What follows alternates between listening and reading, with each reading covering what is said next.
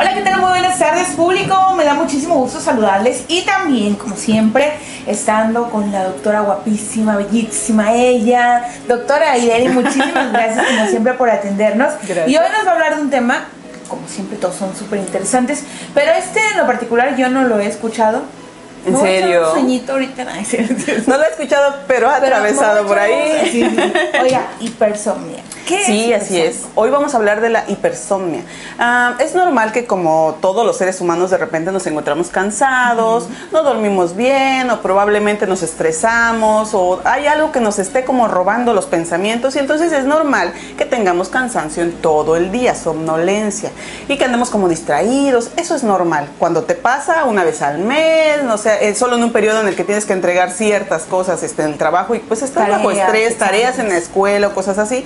Pero en el caso de la hipersomnia no es así. La hipersomnia es un problema, pues tal cual del sueño, de tra- un trastorno del sueño, en el cual la persona se mantiene somnolienta todo el tiempo. No sé si ustedes han convivido con personas que viajan aquí cerquitita, no se van a Tres Valles y ya se están durmiendo. O el típico que apenas le prendes el clima, lo subes al carro y se queda bien dormido. Siempre está cansado. No importa que duerman 6, 7, 8 horas, 10 horas, siempre están cansados, cuando probablemente ellos padezcan de hipersomnia. ¿Sabe qué me acordé? Que, bueno, a mí me pasaba en algún tiempo y era por los exámenes, pero mi mamá me decía, que qué bueno que mi mamá está viendo ahorita la televisión, mami, no tengo bichos, no tengo bichos, es hipersomnia. Porque lo, lo confundimos, ¿no? Sí, lo confundimos, o sea, todo el tiempo está... ah, Todo el tiempo O- o- bostezando, cansado. Ojo, es cierto algo que, que de lo que acabas de decir. ¿Pueden ¿sí tengo tener bichos? No, pueden haber problemas orgánicos, sí, porque hay dos tipos de hipersomnia. Está la primaria y está la secundaria. En la primaria no se conocen las causas. Entonces no sabemos qué es lo que la está generando, pero sin embargo, pues hay este cansancio constante, ¿no? O continuo.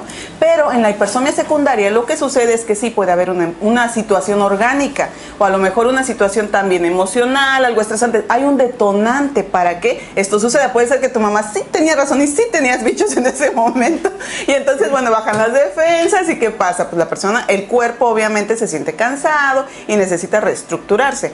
En el caso de las personas con hipersomnia, ojo, estas personas normalmente están muy lentas mentalmente. Usted, bueno, usted tiene alumnos, profesora, y hay niños que no responden igual que otros niños. Y entonces parece que andan pajareando, Sí. Andan ¿no están enamorados? no están enamorados, muchos, ojo.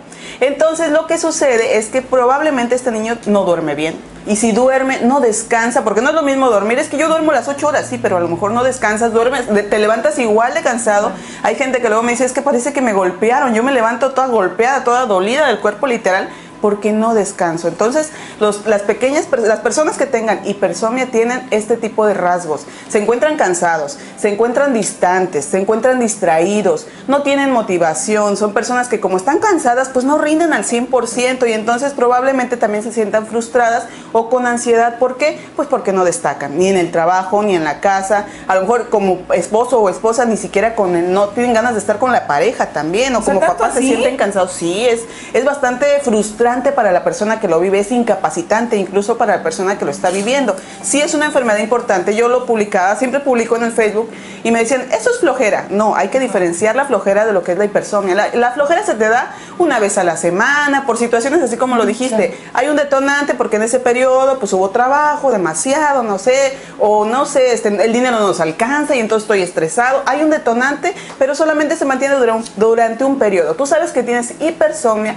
cuando mínimo tres veces a la semana presentaste esas conductas donde estás distraído, donde estás cansado, donde a lo mejor el sueño es así como que la cama te abraza literalmente y no te quiere dejar ir porque de veras no te quiere dejar ir y entonces te sientes cansado todo el tiempo y aprovechas cualquier ratito para dormirte.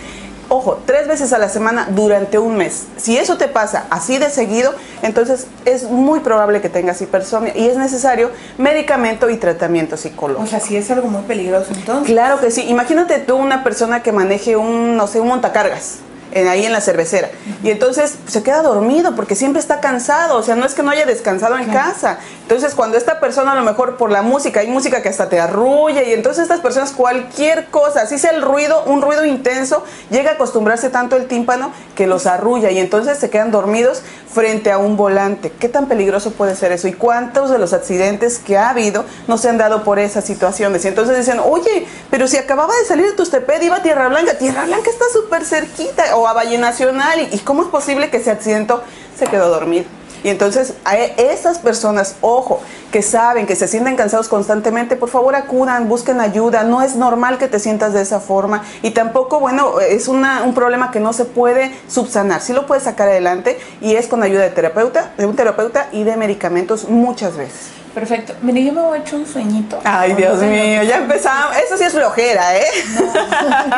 Oye, doctora, muchísimas gracias por este tema que nos compartió. Y por favor, público, si usted ha presentado alguno de estos síntomas, ahorita están saliendo aquí en pantalla, porque la doctora Yeri lo va a esperar con los brazos abiertos para que, bueno, pues usted tenga eh, tratamiento, exacto, tratamiento, y ya les decía que ahí van a encontrar el... Adiós, adiós. Nos vemos nosotros. Nos vemos a la próxima ya se me quedó dormida, pobrecita. Bye.